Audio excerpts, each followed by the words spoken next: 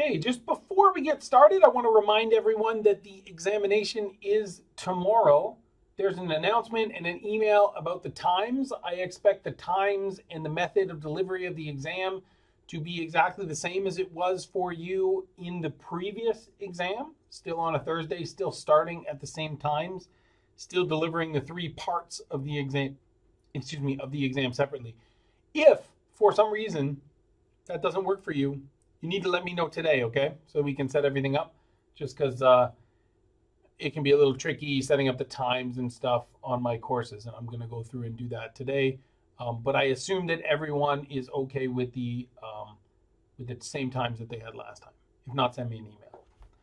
Um, the exam will not cover what we're going to talk about today, but it still does talk about Rankine cycles in their kind of most basic form.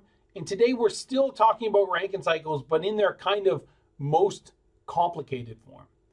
So just a reminder, what's on the second exam is we started off looking at open systems, right? How to use the open version of the first law, how to use conservation of mass. Then we talked a little bit about the open version of the second law, right? Trying to solve for sigma or sigma dot. Then we talked about kind of big cycle analysis for Carnot cycles, right? So basically, you can look at the whole cycle and you can say that the thermal efficiency is net work over heat in, but if it's a Carnot cycle, that's going to equal 1 minus T cold over T hot, right? We got to remember that those temperatures are in Kelvin or Rankine and not in Celsius or Fahrenheit. Um, and then finally, we started to put everything together into cycles, right? So we started on Rankine cycles, and the stuff that's going to be available for this first exam to test you on is a four component Rankine cycle. So you'll need to know how to do a Rankine cycle that has a turbine, a condenser, a pump, and a boiler, right? Or a steam generator, depending on the terminology that you prefer. I think the textbook talks about um, a boiler only goes to saturated vapor and a steam generator takes you into the superheated vapor region. But I tend to use those two terms interchangeably. So that's what's going to be on the exam for next class. Um, so the exam is tomorrow evening, but next class we will have uh, just an open period. So if you have questions about any of the material on the exam or you'd like me to go through some examples for things, uh, please bring your questions. I won't have anything prepared, um, but I, like I said, free, feel free to bring in your questions and I'm happy to help.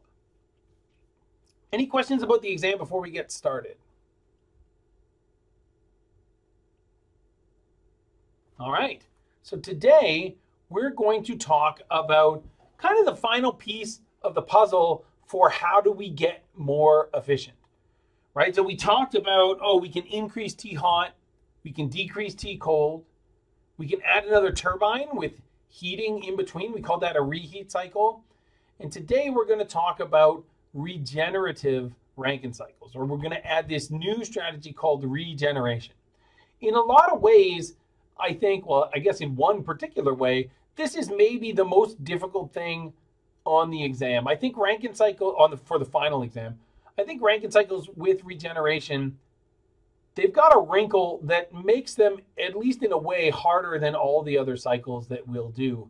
And that's that for this cycle, not every component has one inlet and one outlet. But let's go back to the beginning. When we're talking about a Rankine cycle, we're still talking about a heat engine. No matter how many sort of bells and whistles we put on our Rankine cycle, it's a heat engine, right? And if we're trying to characterize that heat engine, we talk about the thermal efficiency. This is different than an isentropic efficiency for a turbine or a pump. This is the efficiency of the whole cycle, right? So a heat engine, what we're trying to do is we're putting in heat, that's the energy cost, and we're getting out work, that's the energy benefit. So our thermal efficiency is net work over heat in, but net work is equal to, if we take just the magnitudes here, the heat in minus the heat out. Or if you prefer to get these terms from the first law, it would be heat in plus heat out You just got to make sure that your net heat is equal to your net work and that your net heat is not larger than your heat in. So because this is a, um, a heat engine, right, we can look at this equation. And this equation, like we said, I mean, it's a pretty simple equation, right? There's two terms, right? Net work, heat in. I think about reheat as increasing our heat in or increasing our net work because we're adding that extra turbine. Now, obviously, both of these cycles are improving the thermal efficiency. So what that means is that the rate, uh, the the work rate or the power is increasing faster than the heat rate in, right? But I think about increasing the work as reheat because we add another turbine. And then I think about decreasing the heat that goes in as regeneration. And that's what we're going to talk about today. Right? So hopefully you'll see why I think about this as reducing the heat that we have to put into the cycle. So this is at least one type of regeneration system. Now, before we talk about regenerative systems, I want to tell you a story about a house that we had built before I when I still lived in Canada, right? So I lived in what was the fastest growing uh, city in all of Canada before we moved here. Basically, it was the furthest away you could get from Toronto, right? But you could still take the commuter train in. So, you know, it was somewhat affordable to live there. And, and you know, building construction there was, um, you know, like basically every winter we'd go into our house, right? You don't go outside as much during the winter. You come out and there'd be like whole new subdivisions all over the place, right? But because these were new homes, you know, they focused on being energy efficient. And one of the things that they did was they said, okay, let's say it's well, it's summertime today, right? So so you know, yesterday I think the temperature was probably something around 90. I still think it's Celsius, so it was like 30 something yesterday. And um you know, but I'm paying to to air condition my house, right? So what my old house used to do, because it, to be like an Energy Star home, they have to seal it up really well, right? So most houses breathe because they're like not as airtight as maybe you'd like them to be, right? But these Energy Star homes are sealed up really well, right? So what you do is you have to, you know, get rid of the stale air in your house and bring in the fresh air from outside, right? But the problem is I already paid to cool down the air that's in my house, right? And it's like super hot outside. So they have this heat exchanger where the cool air inside my house is moving in one tube and the hot air coming from the outside is moving in another tube. And what happens is, even though I'm kind of exhausting this cold air out to the environment, it passes by the hot air through this heat exchanger so that that hot air coming in gets cooled down a little bit before it comes into the house right? And that means that I pay a little bit less to cool that down, right? Now, the you know the same thing happens in the wintertime where the air inside the house is hot and it leaves the house and it preheats the air that comes into the house, and that means that my furnace is running less. Right? And this is kind of the same um, idea that's behind these regeneration cycles. So, just like a reheat cycle, we have two turbines here, right? But unlike a reheat cycle, we don't go back and heat up the fluid in between these two turbines. Because what we're trying to do, right, is we're trying to preheat the fluid before it gets to the steam generator or the boiler, right? So we take some mass out of here right? So we divert some of the flow, some mass fraction y, which is typically, you know, maybe it's like 10 or 15 or 20% of the mass flow rate. So it's some of the mass flow rate, but less than, you know, half even, right? Um, and then the rest goes through this second turbine, 1 minus y times the mass flow rate goes over here. So we're still getting power out of the turbine, but not as much power as we would otherwise, right? But the benefit here is we take this hot fluid, which we wouldn't have got as much out of as when it first came into the high pressure turbine, right? And we bring it over here, right? Into what we're calling this open feed water heater, right? Now, the rest of the mass, it goes through, it condenses, now it's liquid. But in this open feed water heater, it mixes with this hot stuff that came out of the turbine. So that means, you know, if I've got cold water and hot water coming into the feed water heater, I've got some warm water coming out, right? And then we get back up to this high pressure going into the steam generator. And what happens is because of that, right, we've like preheated this fluid that goes into the steam generator. Right? So we didn't have to cool that fluid down only to heat it back up. We used it to you know, increase the heat going into the steam generator so we're sort of burning less coal or adding less heat over here. Now, it's important to realize that this is not something that we get for free. This is like, um, you know, in the before times, I would run in these, um, probably sometime right around now, there would be uh, this Chase Bank does this thing called the Corporate Challenge, right? And it's like a, it's a kind of a stupid distance. It's three and a half miles, right? Which is like, I don't know, it's something like 5.6 or 5.8 kilometers, right? So it's this really weird thing, but it's kind of cool because all kind of companies in the Rochester area, and then they have this same things going on in different cities. You go and run, right? So there's there's like thousands of people there. So it's kind of a cool thing. You feel like you're in this big race, right? But um, you know, you get a T-shirt, right? And you feel like, oh, it's a free T-shirt, right?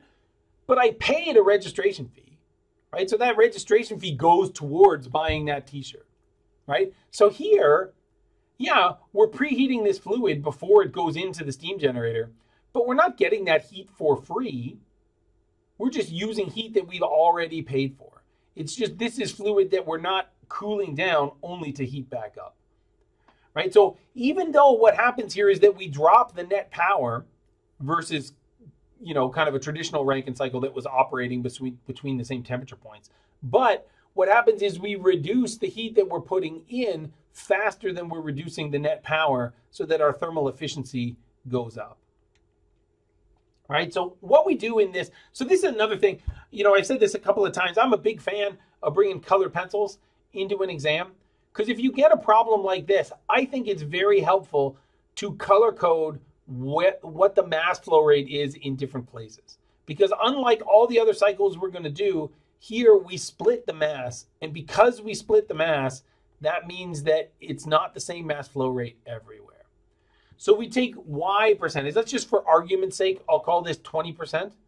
So if I take 20% of the mass flow rate in between the two turbines, then what happens is 80% of the mass flow rate goes through this second turbine, then the condenser, then this pump, right? And then the band all gets back together over here in the open feed water heater. So we got a, a hot stream and a cold stream coming in. So then we're going to have all of the mass flow rate, right? The total mass flow rate move through the rest of the cycle. So move through the pump, the steam generator, and the turbine. So there are some tricky things here, right? So first you got to remember that the mass flow rate is different. Second, sometimes when we talk about a state, it can be associated with either one of the mass flow rates. So I'm going to have, say, 20% of this mass flow rate at state two go into this open feed water heater, and then 80% of the mass flow rate, which is also at state two, go through this second turbine. So it's important here to realize that the states, the mass flow rates don't go with the states, right? The mass flow rates go with the inlets and or the outlets on the different components, right? So this is one version of what a reheat cycle could look like, right? So, um, so this is what uh, the textbook calls an open feed water heater regeneration cycle because it's sort of characterized by what this open feed water heater looks like, right? So the thing about these regeneration cycles is that you know, we're still going to look at each individual component. We're still going to do conservation of mass. We're still going to do the first law. If somebody asks us if it's possible, we're still going to do the second law. All that stuff looks the same. The tricky part is um, we need to figure out what the mass flow rates are because the mass flow rates won't be constant. All right, so this process, it increases the heat, the thermal efficiency because it reduces the heat that's required from the boiler right? So we can run this cycle with less heat, right? The textbook talks about this increasing the average temperature of heat addition. The other thing, remember, we talked about one of the things that, that we dislike about Rankine cycles is how Kelvin and Planck told us, yeah, you can run a heat engine, but you need to reject heat. And basically, any heat that we reject is heat that we're not turning into work, right? So here, because we're rejecting less heat, because we're not cooling down as much mass flow, right? Then that means we're kind of quote unquote wasting less heat, right? Which means we're increasing our thermal efficiency, right? So this is kind of Lorax approved, this particular cycle, right? We wouldn't be learning about it if it wasn't practically beneficial. Now, in real life, in real plants, you know, they're making use of all of these things. They're doing, you know, they're increasing the hot temperature, they're decreasing the cold temperature by lowering the pressure uh, out the condenser. And then, you know, they do regeneration and they do reheat and they do all of these things together and they're very complicated, right? But we still want to learn sort of how to go through and do these particular cycles. So there's two different ways that you can set up regeneration in a Rankine cycle, and you could get either or both in a real cycle. Right? So we talked about it's classified kind of by the type of regenerative heater. Right? So we talked about this open feed water heater, right? Here we're mixing the mass, right? So we take the hot mass from in between these two turbines and we mix it with the cold mass that went through the second turbine and they mix together in the feed water heater and then they come out over here. But I could set up a system where they don't mix, right? So I still take mass, hot mass from in between the two turbines, and then have this closed feed water heater where the hot mass runs over something like a radiator, right? And the cold mass that went through the condenser comes back, you know, goes in tubes over here, but they don't actually mix together. This is not like my grandfather's sink when he was shaving, right? With the two things. This is like uh, like the radiator in your car where one flow is moving over another flow, but they don't actually mix, but they do transfer heat. Right? So in the open feed water heater, all the fluid comes back together inside the feed water heater. But in a closed regenerative system, the mass comes back together in the condenser. But we're still going to use the same kind of strategies. Right? So again, a big fan of colored pencils, right? So here we're going to say, where does the diverted mass go? right? So in the open feed water heater, the diverted mass is separated between the two turbines and goes into the feed water heater. In a closed regenerative system, right? Now, again, we're still, it, the diverted mass comes from in between these two turbines, but then it goes through one side of this closed feed water heater and comes back together in the condenser. So, what about the undiverted mass? right? We talked about this already in the open feed water heater. So the undiverted mass goes through the second turbine, through the condenser, through this first pump, and then everything comes back together inside the open feed water heater. But with a closed feed water heater system, right, this undiverted mass only goes through the second turbine and then everything comes back together in the condenser. So what about all the mass? right? So all the mass, the total mass flow rate, or the textbook sometimes will call this the mass flow rate flowing through the steam generator, right? Or the boiler, because the total mass flow rate always goes through the boiler in both of these cases, right? So here in the closed feed water heater, we come out the exit of the condenser through this pump. There's only one pump here. Then here through the closed feed water heater, the other side of it, through the steam generator, and then back through the first turbine. For the open feed water heater, we come out the feed water heater and then we come through and go through here. Now, you can see that the, there's, you know, maybe you can foresee the problem here, right? For all the other Rankine cycles we've talked about so far, we've been able to say that all the components, at least on the inside of the Rankine cycle, are one inlet and one outlet. And that's not true anymore for the Rankine cycle. And that's what may or the regeneration cycle. And that's what makes the Rankine regeneration difficult right? Is because here this open feed water heater has two inlets and one outlet right? And here the condenser also has two inlets and one outlet. So that means that not all the mass flow rates are the same. So we have to have some kind of an accounting for what the mass flow rates are so first i'm going to take you through the open feed water heater We'll talk about how to account for the mass flow rate and then how to get an equation for thermal efficiency. Because I really think that usually if we can find an equation for thermal efficiency, then that means we sort of know how to deal with the cycle. Right? So remember, our thermal efficiency is going to be the energy benefit, that's the net power, divided by the energy cost, which is the heat we're putting into the system. All right, so here I'm going to look at this and say, okay, what's producing power? Here I have two turbines, consuming power, two pumps, and adding heat just one place in the steam generator. Right?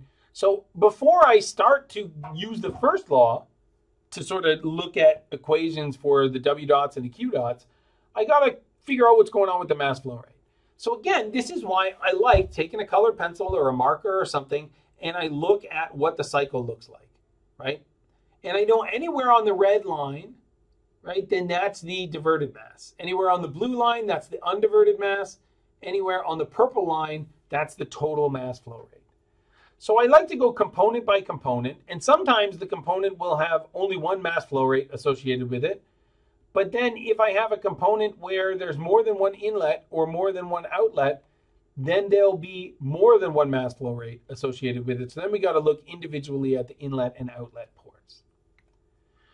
So first, I look for my purple line. This is the total mass flow rate. And I look for components where my purple line goes through the whole thing, right? So it starts at the inlet, goes to the outlet right? So anything that's one inlet and one outlet on my purple line gets the total mass flow rate. So here in my column here in my table, I have the mass flow rate that we're talking about divided by the total mass flow rate.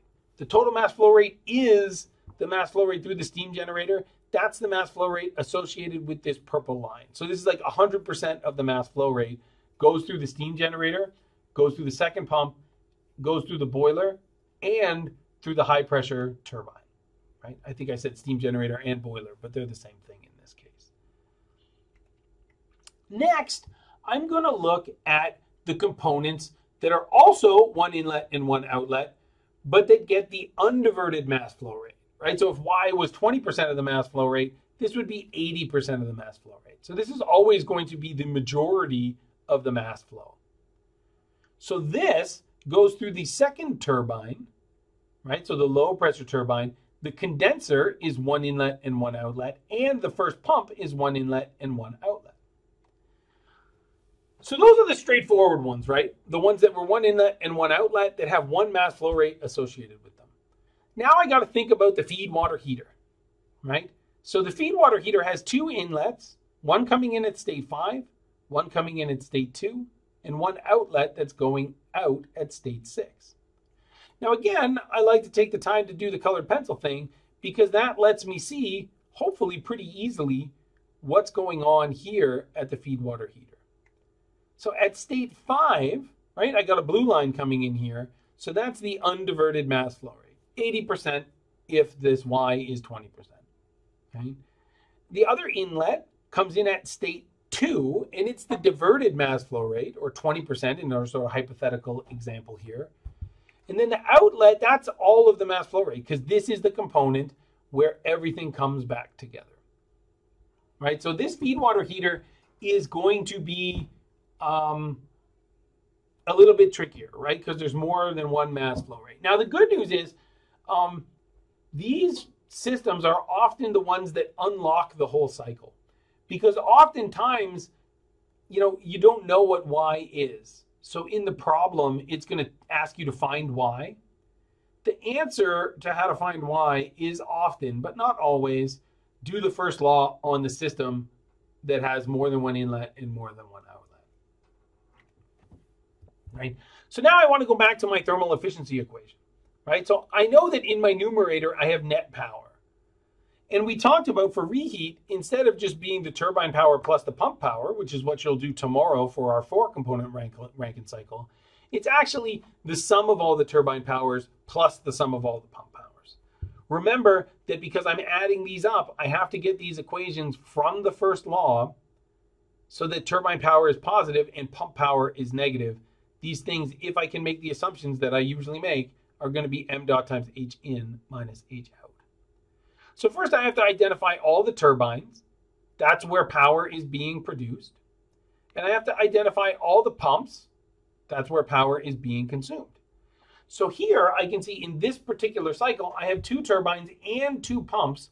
So my net power term has four different components in it or four different terms in it. So I have to do the first law on all four of these components. Thankfully, the analysis is going to be the same for all of these, right? But if I want an equation for my net power, it's going to be power from the first turbine plus power from the second turbine plus power from the first pump, which is negative, plus power from the second pump, which is also negative. So if I look at these things, and I won't write it out this time, right? But the assumptions that I'm making here are that these components are steady state. They're all one inlet and one outlet. I'm neglecting kinetic and potential energy for all of these components, and I'm assuming that they're adiabatic. And if that's the case, then I'm going to get the equation that hopefully I know and love at this point, where it's m dot times h in minus h out. It's okay if you don't love it, right? But you should at least know it, right? Or at least know what you're expecting from the order of the enthalpy terms when you're talking about a turbine or a pump. I think you should love it, right? So now this is the difference, right? This is the thing that makes this part tricky, right? So for all the other cycles we've talked about, at this point we said, oh, we can just divide by the mass flow rate because the mass flow rate is constant everywhere. But that's not true in these regenerative cycles because the mass flow rates are different, right? So now in that previous table that I made, right, I go back and say, oh, the, the first turbine, well, that was the whole mass flow rate, right? The second turbine, oh, that was the undiverted mass flow rate, right, our 80%. Same with the first pump. And then the second pump, oh, that was after all the fluid came back together. So that's the total mass flow rate. Right? So why do we do this, right? We like to get everything as a percentage of the total mass flow rate because ultimately in our thermal efficiency, we're still going to have net power over heat transfer in. And if we can factor the total mass flow rate out of everything, we can still cancel the mass flow rate, the total mass flow rate from the numerator and the denominator. Right? But it's important that um, you know these things won't all contribute equally based on their delta H because the mass flow rate is different. Right? So we got to keep track of that. That's kind of what makes these regenerative cycles difficult. So here I could talk about and the the textbook says this instead of calling this like specific power or something, they'll talk about the power per kilogram of steam flowing out of the steam generator or something like that, right? What that means is the net power divided by the mass flow rate or the total mass flow rate or the mass flow rate through the steam generator. Right? So when we do that, then our m dot terms, we can still factor out m dot from all four of these terms and divide both sides by m dot. And we go from big W dot down to little w dot. And now, instead of having an equation that's only h's, we have an equation that's h's but also has y in it. right? So now well, that's the numerator, right? So now we talk about, oh, where are we adding heat, right? And unlike the reheat cycle, here there's only one place where we're adding heat. So we can do the first law analysis. We'll say that it's steady state, that it's passive, so that W dot term goes away, that it's one inlet and one outlet, that there's no kinetic energy change, no potential energy change, and I get M dot times H out minus H in. H out is state one, H in is state seven, and the mass flow rate through the boiler is the total mass flow rate. Right? So this is just going to be m dot times h1 minus h7.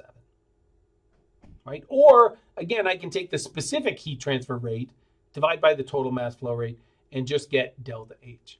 Notice that Y doesn't show up here in our denominator because here all the mass flow goes through this steam generator. So if I had a open feed water heater that looked exactly like this one, then this is the equation that I would get for my thermal efficiency. Here's where things can get tricky because how do I find the H's, right? I ask what's the fluid, and because the fluid is water, then I say, oh, is it um, is it a subcooled liquid, or is it a two-phase mixture, or is it a superheated vapor, right? That's the same thing you're going to be doing on the exam tomorrow, right? So hopefully that's starting to become um, you know, more clear to you. You're starting to get a better perception of this. The new part here is how the heck do we find y? Right? And there's three different ways we can find y. Right? So first, maybe they tell us what the net power of the cycle is. If we knew the net power of the cycle, right, then I know that big W dot is equal to M dot times all of this stuff on the top. So if I knew the net power and I divided by all this, you know, this function of H's and Y's, then I would get the mass flow rate. I think more likely what often happens if you get lost on one of these problems, do a first law analysis on the feed water heater because even if it's not the thing that you're going to need to do for the part that you're lost on, you're definitely going to have to do a first law analysis on the feed water heater in one of these problems. So that's a place. So if one of the ways we can find so there's only a couple ways to find mass flow rates in this class, right? So first, we know that the mass flow rate is the area times the velocity divided by the specific volume. That's the same thing as the volumetric flow rate divided by the specific volume. Next, we can use the first law, right? But oh, that's great. Yeah, use the first law. It's thermodynamics, right? So there's a couple ways we can use the first law, right? The first is we look for some place where they tell us a power or a heat transfer rate. Because then I can do the first law and I can get some equation like this that's a function of H's or Y's and M dot and this power term or this heat transfer rate, right? So then I can isolate for Y. In this case, I can't use the heat transfer rate to find Y because Y doesn't show up in the heat transfer rate, right? But the third thing I can do to find mass flow rates is I can try to do a first law analysis on some component that has more than one inlet and more than one outlet, right? Because that will give me some equation that's, you know, usually when I do that, I'm going to say that it's adiabatic and passive. So I'm going to get an expression that's only, in this case, Y's and H's, or generally something that's about a mass flow rate, right? Like Y times M dot and enthalpy. So if I could fix the states, then I could know something about the mass flow rates, right? So generally with regeneration cycles, if I'm trying to find y, I look for did the problem tell me something about the power, the total power generated, or the power generated from one turbine or something? Or I try to do a first law analysis on the open feed water heater, right? Or the closed feed water heater if it's that, but we'll see that soon, right? So if I do a first law analysis on the feed water heater, what does that look like? Right? So here's the feed water heater, right? I'm going to say that we're at steady state. I'm also going to say that we're adiabatic. Heat is being transferred inside of this component, but that heat, you know, if I drew a squiggly arrow, right, it would be heat going from this mass that comes in at state two to this mass that comes in at state five, and that squiggly arrow never crosses my control volume. So I'm going to say that this is well insulated, that there's no heat loss from this component. There's no fan blades in here, so I'm going to say that it's passive. I'm going to neglect kinetic and potential energies, and I'm going to get the sum of m dot in h in is equal to the sum of m dot out h out. Here I have two inlets and one outlet, right? So I know that I have y times m dot coming in here at state two and I have 1 minus y times m dot coming in here at state 5. So my m dot in h in terms are going to be, if I factor out the total mass, y times h2 plus 1 minus y times h5. And then coming out, I have the total mass flow rate, m dot, times h6.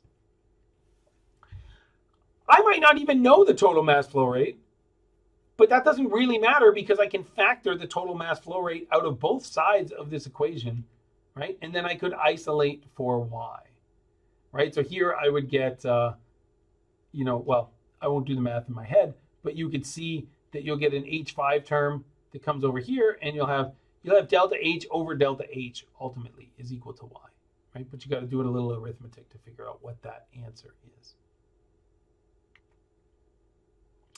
So that's how we deal with open feed water heaters, right? So basically with all these Rankine cycles, we want to know how do I do the net power? How do I do the heat in? How do I find Y, right? So we'll do the same thing with the closed feed water heater, right? It's still a Rankine cycle, which means it's still a heat engine and it's still using water as the working fluid, right? So I still want to find the net power and the heat transfer rate in but I still got this separation of the mass thing going on.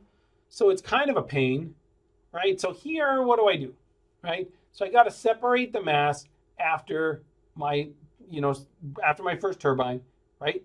And then that's the diverted mass flow rate. And I have the undiverted mass flow rate here, and I have the total mass flow rate. The thing about these closed feed water heaters is there's going to be two different components that have more than one inlet and more than one outlet, right? There's the condenser where everything comes back together, and then there's this closed feed water heater which has a hot side and a cold side.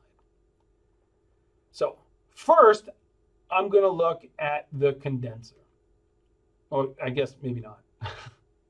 right? Um, so I'm going to look. I'm going to identify the two uh, the two components that are going to be problematic. Right? The ones that are going to be more difficult because they have more than one inlet and more than one outlet. Then I'm going to go through the easy ones. Right? So the gimmies, right? The ones that are easier are the ones where it's steady state, one inlet and one outlet. Right? So here, these are the ones that um, have the whole mass flow rate going through them. Right? So this is the pump. It's got one inlet, one outlet the steam generator, one inlet, one outlet, purple line, right? So that's the total mass flow rate. And this first turbine, one inlet, one outlet. I've also got the low pressure turbine that's one inlet and one outlet, has a blue line going through the whole thing, right? So that's one minus y times the mass flow rate. But that's all the ones that are one inlet and one outlet um, at steady state, right? So now I got to start to look at the other ones, right? So if I look here at the condenser, I have this inlet you can't see it here, but this is state 3. So that's 1 minus y times the mass flow rate. I have another inlet here at state 4 that's at y times the mass flow rate, right? 20% was what we were talking about before. And then I get the total mass flow rate coming out the end. On the cold side of the mass flow, uh, uh, so for this closed feed water heater, there's two sides, right? And because we don't allow the mass flow rate to mix, that means the inlet and the outlet on the cold side have the same mass flow rate as the inlet and the outlet on the hot side. So states 5 and 6 have the same mass flow rate. That's the total mass flow rate. And states 2 and 7 also have the same mass flow rate, which is the diverted mass flow rate. So this is our mass flow rate table for these components. Notice again that we're not doing this by state because a lot of these states show up more than once, right? So state two shows up more than once, state three shows up more than once, state four shows up more than once, right? State five, right? And sometimes they show up with different mass flow rates, particularly at state two. So the next thing we do is again, we talk about, well, what does our net power look like? So I identify where are the pumps in the turbine. So here there's two turbines that are producing power and one pump that's consuming power. So again, I know that this is going to be the sum of all these powers, letting the first law deal with the signs for me. So the pump is going to be a negative power. Right, so if all these things are steady state, adiabatic, one inlet, one outlet, no kinetic and potential energy changes, then I'm going to get m dot times h in minus h out. But I got to recognize that the mass flow rate in each of the turbines and the pumps could be different. So I got to go back to my table and I see that all the mass flow goes through the first turbine, the undiverted mass flow rate goes through the second turbine, and then the total mass flow rate goes through the only pump. So again, I could write a specific mass flow rate or, or a specific net power or net power per kilogram or pound of mass flowing through the steam generator right? And then I get an expression that's only H's and Y's, right? So I got to factor out that total mass flow rate, just like I did with the open feed water heater. When I'm looking at the heat that goes in, again, there's only one place where heat goes in, right? So here, you know, this is going to be m dot times h out minus h in. If we say that it's steady state, passive, one inlet, one outlet, no kinetic energy change, and no potential energy change. So this is m dot times h out minus h in, right? And that mass flow rate through the boiler or the steam generator is the total mass flow rate. Again, I can divide by the mass flow rate just to get an expression as a function of the enthalpies. So again, here I can uh, I can get an expression for my thermal efficiency. Again, because both the numerator and the denominator I can factor out the total mass flow rate, then this is only a function of the enthalpies and y. But again, we kind of get this question of how do I find y? Right, so again, if they told us the net power, so my net power expression has a y in it. So if I knew the net power, then I could do that. Again, I could do the first law analysis on a feed water heater. So that's a component with more than one inlet and more than one outlet.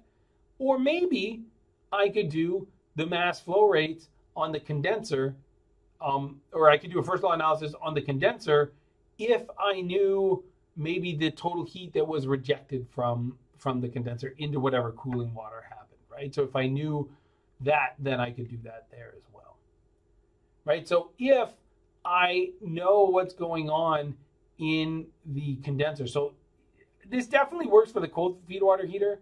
For the condenser, I should maybe update this slide because this assumes if you get to this equation that you're canceling out the heat lost.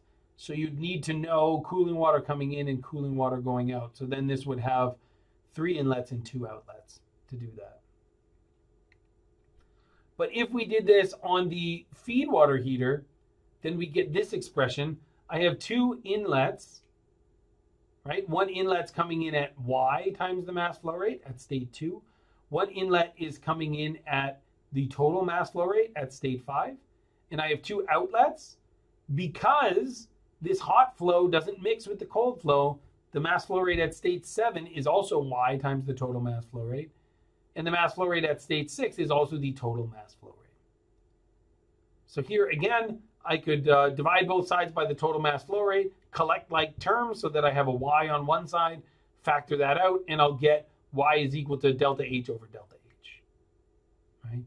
If I was going to do a first law analysis on the condenser, the heat transfer term is going to stick around, or I'm going to have one more inlet and one more outlet. Right? But if I know how much heat is being rejected from the condenser, then I can look at this and I have two inlets, one coming in at state three, one coming in at state four, and one outlet. All of this, all of the Oh, the inlets are state three and state eight. I'm sorry, I got confused by the numbering here. And then the outlet, this should be state four at the outlet. Right, so I can do the first law there too. And if I knew the heat rejected, then I could find y.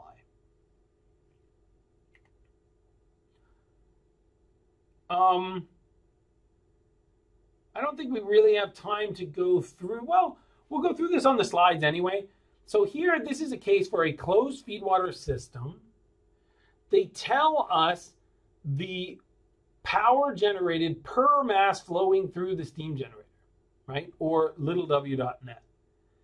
And here, this might go reasonably quickly because we have all these values of y, right? So we're asked to find the diverted mass flow and what is h at state 6. So how do we fix state 6? State 6 is the exit of the closed feed water heater.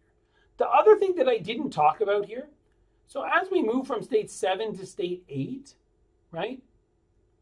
We go through this trap. This is a, a valve, right? Nothing exciting happens in this valve. What happens is the pressure drops, but the enthalpy stays the same.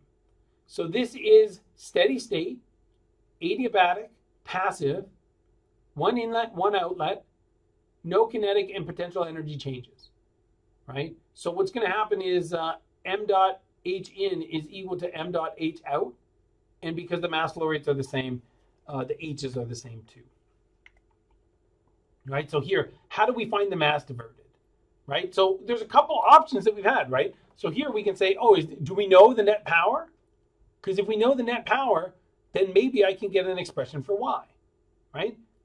Do I know the states of all the uh, at the feed water heater, I can't use this because I don't know state six. So if I did a first law analysis here, I would have y as an unknown and six as an un h6 as an unknown. If you do that on a test, leave it, don't scratch it out, because you're going to have to do it later, right? We're going to see we're going to do that in part B.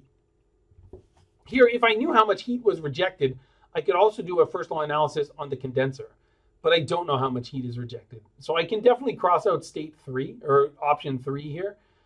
And because I know the power, I'm going to do option one here. And then I can see that if I did option two, I'd have two unknowns. But I'm going to find one of those unknowns after I do part A, right? So here, because we know the net power, we're going to use that option, right? So the net power, there's two turbines and one pump. I'm going to assume that they're all steady state, adiabatic, one inlet, one outlet, no potential energy change, no kinetic energy change. So we get the expressions that we expect where W dot is equal to M dot times H in minus H out. Right? So then when I do that, I can get this. So I would have M dot, I'd have big W dot here and M dot times all of these terms. But I don't know big W dot, right? I know little w dot. So I divide both sides by m dot, which is good because I don't know the total mass flow rate. So it's nice that it falls out of my equation here. And then I, I fixed, or at least the, the problem told me all of these values of enthalpies, right? So then I can go through with this equation, isolate for y, or probably if I was going to do this, I would isolate for 1 minus y because it'll make the equation less messy, right? So maybe I solve and I get 80%, and then I know that y is just 20%, right? So here in this problem, if you use all those numbers, then you'd find that y is equal to um, almost a quarter of the mass flow rate, or 0.23. Right? You can go through if you'd like to do the numerical calculations yourself. But again, even on the exam, it's more about the process that you're following. So make sure when you're writing stuff on the exam put as much detail as you can. Because my job when I'm evaluating an, exam is not, um, you know, did the student get the right answer? It's did the student demonstrate that they have an understanding of the material that we're teaching? Right? So if you didn't write anything down and you just wrote down 0.23, I don't know if you just were extremely lucky or if you know what you're doing right? So you want to put as much detail in your solution as you can. Again, I like to start with the base level of the equations, write down all my assumptions, cancel terms out, you know, derive these intermediate equations, and then only put numbers in at the end, show units in my calculations, and get to what I hope is the right answer. But even if it's not the right answer on the test, I've demonstrated the right process, which is what the majority of the of the grade is about right? Now the next part says, what do we do with state six? Right? So state six, you could look at this and say, man, I have no idea what to do, right? Or maybe you tried to do a first law analysis on the closed feed water heater for um, part A to find Y, and you found that you didn't know Y or H6. But here, if we do a first law analysis on the closed feed water heater, and we assume that it's steady state, adiabatic, passive, and we're going to neglect kinetic and potential energy changes, then we'll get sum of the m dot in h in is equal to the sum of m dot out h out. Right? So here I have two inlets, right? One's coming in at state two, one's coming in at state five, right? And two outlets. One's coming out at state seven and one's going out at state six. Now, if I did this first, I would say, oh, this is, well, first I'd say, oh, it's good. I can cancel out the mass flow rates, right? But then I would see this and I could say, oh, this is not so good because I don't know Y, right? And I don't know H6. I would not scribble that out or erase it, or I guess because this is a digital exam, I wouldn't take that piece of paper, throw it in the garbage, and not upload it. Upload all the work that you do because then I can look through it. And if I can help you out and give you some points because you demonstrated something, then I'll do that, right? So give me all of the work that you do right? But here I can see that there were two things that I didn't know immediately, right? I didn't know H6 and I didn't know Y. So this would not have been a good strategy right away to find Y. But then because I knew the net power, I found Y that way. And then because I found Y that way, I could plug it into this equation. Now I know H5, H2, H7. I found Y, and the only thing I don't know was H6. So then, um, you know, there is a numerical answer for this. Although, again, I'm not sure how super helpful that is when we don't go through the calculations ourselves. But um, at least here you see the structure, hopefully, for how to answer a problem like this. Right? So look at the thing that they ask. And we try to ask when we write a test, I try to ask the parts in a logical order, right? So, you know, just try to follow the process, right? Um, and again, tomorrow, so as you're studying, bring me your questions tomorrow in our class time. And uh, so I won't have anything prepared. Um, just bring your questions and I'll do my very best to answer everything that I can. If there are no questions, uh, that's all that I have for you, but I will stick around for a couple minutes in case there are questions. Thanks, everyone.